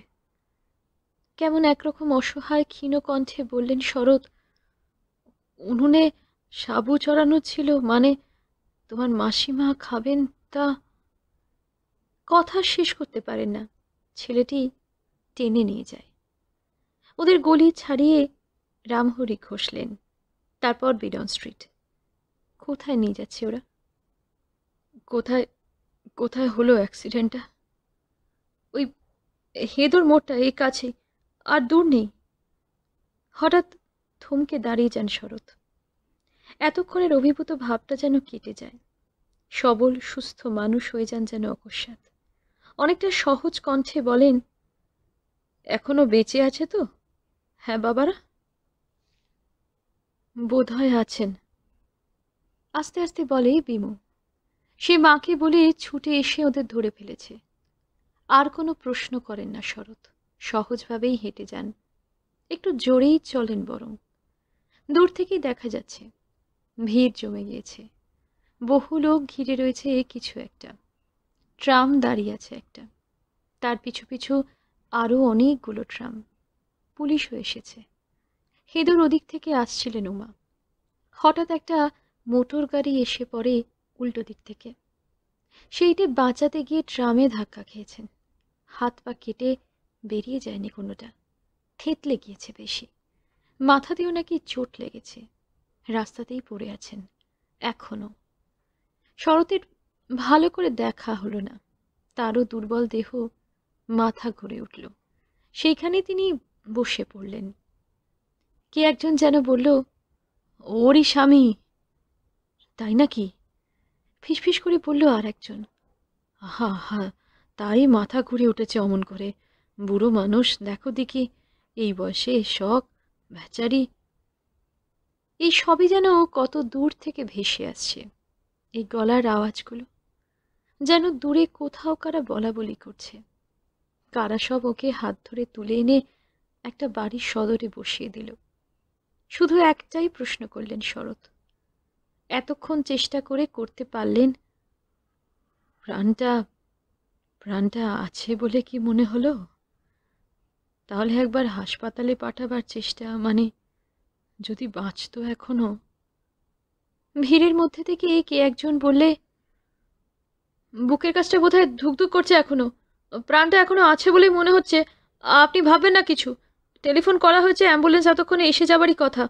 ওই বোধহয় আসছেও, যা ভিড়। হঠাৎ শরতের মনে হলো, সাগুটা নামিয়েছে তো ওরা সব শুদ্ধ যদি পুড়ে যায়, উমা এসে রাগারাগি করবে। অ্যাম্বুলেন্সটা সত্যিই এগিয়ে এলো। স্ট্রেচার নিয়ে কারা নামছে না? একবার দেখিয়ে নিলে হতো। তখন তো ভালো করে চাওয়াই হলো না। সব যেন ঝাপসা একাকার হয়ে গেল। শুধু নজরে পড়েছিল চওড়া লাল শাড়ির পাটটা আর হাতের সাদা শাঁখাটা। সেও চকিতে। তারপর আর কিছু দেখতে পাননি। কে একজন এসে একটা পুটুলি রেখে দিল ওর পাশে। ওনার হাতেই বোধহয় ছিল পুটুলিটা। দেখুন তো কি ছিল তা তো জানি না। খুলে ছড়িয়ে গিয়েছিল। যতটা পেরেছি কুড়িয়ে এনেছি। পুটুলির গেরোটা খোলেনি। এদিকটা বোধহয় রাস্তায় ঘষড়ে ছিঁড়ে গেছে, কাদা মাখামাখি। তবু ঝাড়নটা ওদের বলেই মনে হলো। নতুন ঝাড়নটা। মাত্র কদিন আগে এনেছেন উমা কে এক ছাত্রীর মা দিয়েছে।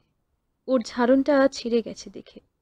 সেই ঝাড়নের এই অবস্থা দেখলে উমা হায় হায় করবেন। কতকটা যেন যন্ত্রচালিতের মতোই পুটুলি খুলে দেখলেন শরৎ। ছেঁড়ার দিকটাই খুলে দেখলেন। একটা গোল কাঠের বাক্স। আঙুর নিশ্চয়ই। গোটা দুই বেদানার মতো মনে হচ্ছে। আরও সব কি রয়েছে? একটা খালি শালপাতার ঠোঙা। খালি কেন? ও, এই যে ক্ষীরের বরফি ছিল ভেঙে গুড়িয়ে গেছে। এক পয়সানে চিনি কচকচে বরফি। যা পুজোয় দেয় সাধারণত। শরৎ ভালোবাসেন এগুলো খেতে। দুধ সাগু কি পরোটার সঙ্গে খাবেন মনে করে নিয়েছিল বোধহয়। চুপ করে বসে রইলেন শরৎ। অ্যাম্বুলেন্সে তোলা হলো। একটু পরে তা চলেও গেল। পাহারাওয়ালা ভিড় ঠেলে এসে ওর নাম, ঠিকানা জিজ্ঞাসা করল। ভাগ্যে বিমু কাছে ছিল, সেই বলে দিলে। উনি হয়তো বলতে পারতেন না। নম্বরটা আজও জানেন না বাড়ির। কাউকে কোনোদিন ঠিকানা দেবার তো দরকার হয়নি। পাহারাওয়ালা ঠিকানাটা নিয়ে বোধহয় অ্যাম্বুলেন্সকেই দিলে। কে জানে? অ্যাম্বুলেন্স চলে যেতেই ট্রাম ছেড়ে দিল। পরপর ট্রামগুলো চলল সার বেঁধে। এইবার ভিড়ও হালকা হয়ে গেল। মজা দেখা মিটে গেছে। অনেকেরই এবার বোধহয় মনে পড়েছে বাড়ির কথা, কাজের কথা যেটুকু ভিড় রইল এখন ওকে ঘিরে। কে একজন এসে ওর হাত ধরল। উঠুন মেসমশাই, বাড়ি চলুন। বাড়ি? হ্যাঁ যাব বই কি। কোন হাসপাতালে নিয়ে গেল ওরা বাবা? জানো কেউ? একটু খবর পাওয়া যাবে না? বিমু গেছে মেসমশাই, বিমু আর তারক। ওরা ফিরলেই সব খবর পাবেন। আপনি ব্যস্ত হবেন না। আপনি আপনি এখন বাড়িতেই যাবেন তো? আমি? তা বাড়িতেই তো মানে আর কোথায় যাব? আর কাউকে খবর টবর দিতে হবে? বাড়িওয়ালাদেরই আরেকটি ছেলে জিজ্ঞাসা করে। তার মুখটা এতক্ষণে চিনতে পারেন শরৎ। হ্যাঁ খবর দিতে হবে। এই কাছেই মদন মিত্তিরের লেনে আমার বড় শালি থাকে। কিন্তু নম্বর জানি না। আমার সঙ্গে যাবে কেউ, বাবা? তাদেরই খবর দিতে হবে। তারাই ওর আপন। চলুন চলুন, আমরা সবাই সঙ্গে যাচ্ছি। উঠে দাঁড়িয়ে যেতে গিয়েও থমকে দাঁড়িয়ে একবার পুটুলিটার দিকে হাত বাড়ালেন। আমরা নিচ্ছি মেসমশাই, আপনি চলুন। মাথাটা এখনও ঘুরছে। একজনের কাঁধে হাত রেখে সামলে নিলেন টালটা। তার কাজটা ধরেই চললেন ধীরে ধীরে। সাগুটা ওরা নামাবে তো? কড়া শুদ্ধ যদি ধরে যায়, উমা বড় বকাবকি করবে। আজকের মতো শ্রী গজেন্দ্র কুমার মিত্রের লেখা পৌষ ফাগুনের পালা এখানেই শেষ করলাম। ভালো লাগলে লাইক করতে শেয়ার করতে ভুলবেন না। আর সম্ভব হলে সাবস্ক্রাইব করবেন। ধন্যবাদ।